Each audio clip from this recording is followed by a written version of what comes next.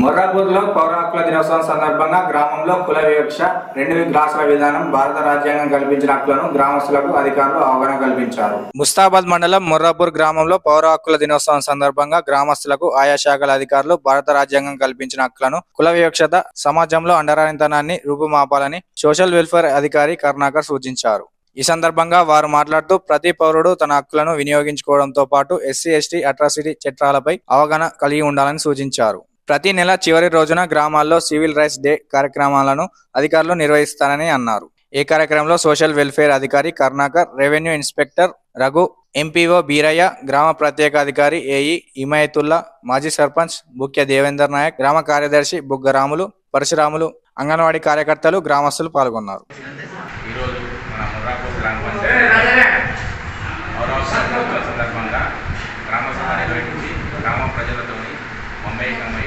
అదేవిధంగా ఈ యొక్క ఈ పౌరవసర యొక్క ముస్లిం ఉద్దేశము ఇటువంటి కులవివక్ష కానీ మత వివక్ష కానీ ఎటువంటి జరుగుతున్నాయా ఇటువంటి దాని యొక్క ముఖ్య ఉద్దేశము మానవ ప్రయత్నం జరిగింది ఆ విధంగా ఏంటంటే ఇక్కడ ముర్రాపూర్ గ్రామ ప్రజలు అందరూ కూడా ఎటువంటి వివక్ష లేదని చెప్తున్నారు ఈరోజు ఇక్కడ పౌరవసర దినోత్సవం ఈరోజు ఆ, గ్రామంలో పౌరహక్కుల దినోత్సవాన్ని నిర్వహించడం జరిగింది.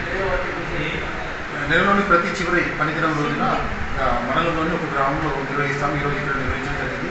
ఇందులో ఎంపీఓ సారు అలాగే సారు అలాగే జేఈపీఆర్ గారు మాజీ సర్పంచ్ ప్రత్యేక అధికారి గ్రామస్థాయిలో ఆ, పెద్ద ఎత్తున పాల్గొన్నారు.